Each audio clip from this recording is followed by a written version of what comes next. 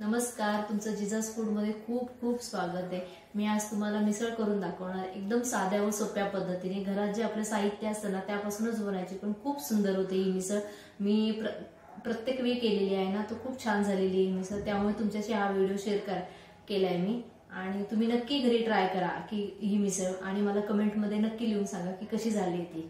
आज आपण मिसळ करणार आहोत. त्यासाठी पहिली मटकी लागणार आहे. ही मोड आलेली मटकी घेतलेली आहे मी. मीठ आलं लसूण पेस्ट आहे. कांदे घेतलेत मिडियम आकाराचे तीन. दोन टॅमॅटो आहेत. आपला घरातला मसाला आहे. हा मिसळ मसाला आहे आणि कोथिंबीर आणि कढीपत्ता. आणि तुम्हाला जर वाटलं तर कांदा मिक्सरला लावून बारीक करू शकता किंवा किसू पण शकता. मी आता कढई ठेवली आहे. त्याच्यात दोन पळी मी तेल घातलेलं आहे. हे पहा असा कांदा किसून घेतलेला आहे. आता तो घालते प्रथम. काही काही जणं मटकी कसं वाफून घेतात. हळद मीठ टाकून पण मी नाही. मी डायरेक्ट टाकतो त्याच्यामध्ये. या पद्धतीने नक्की करून बघा. मी बऱ्याच वेळा केलेलं. आहे खूप छान होते अशी मिसळ. पूर्ण कांदा लाल झाला ना की त्यामध्ये टॅमॅटो टाकायचा.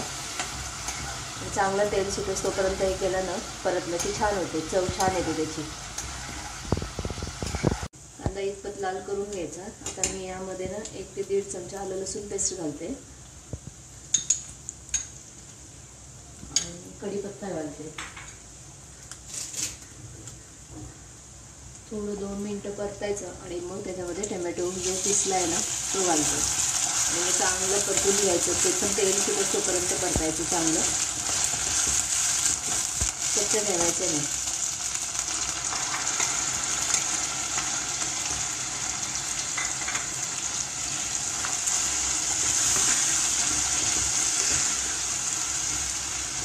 कांदा आणि टमॅटो चांगला परतलं गेलं आहे तेल बघा त्याने असं पूर्ण सोडलं आता आपण यामध्ये सर्व मसाले घालायचे. प्रथम हळद घालूया. पाव चमचा नंतर हा आपला मिसळ मसाला आहे ना तो दोन ते तीन चमचे घालूया. चांगलं झणझणीत करायचं आहे ना त्यामुळे. चांगला मसाला घालायचा. आणि हा घरातला कलरचा मसाला बेडगी मिरचीचा तो दोन ते दोन चमचे घालते मी. आणि मीठ घालायचं आपल्या चवीप्रमाणे. आणि मग अशी जी तुम्हाला आलं लसूण पेस्ट हिरवा कलर दिसला ना त्यामध्ये मी दोन हिरव्या मिरच्या वाटायला घेतल्या होत्या पेस्ट करताना. त्यामुळे त्याचा कलर हिरवा होता. चांगलं दोन मिनटं चांगलं परतायचं आणि मग ह्यामध्ये सर्व मटकी घालायची. मटकी पण दोन मिनटं परतून घ्यायची आणि मग गरम पाणी घालायचं. त्यामुळे कसं तवंग छान येतो गरम पाणी घातल्यामुळे.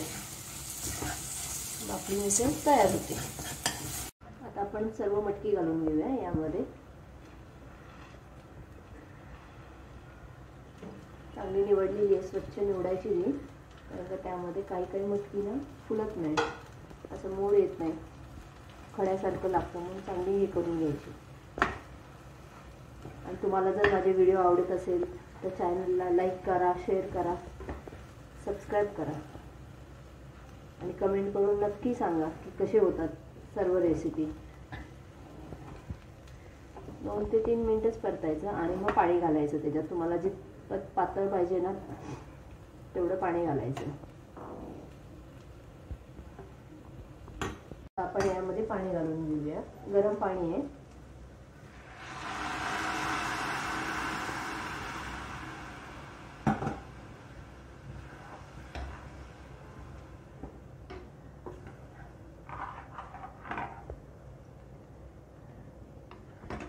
आपली मिसळ तयार झालेली आहे. मी वरून आता फक्त कोथिंबीर टाकते आणि खायला तयार. आता मिसळ मस्त झणझणीत छान झालेली आहे मिसळ. तुम्ही नक्की घरी करून बघा.